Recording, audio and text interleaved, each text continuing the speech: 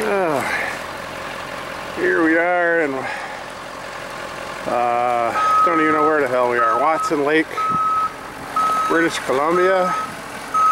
It's about five below. That's where we stayed last night. Whew. Yeah. Yeehaw. Still snowing. We're only going 160 today up to Teslin. So hopefully uh, everything will be good. Yeah, Brazos. The Alcan expedition of 2013 continues.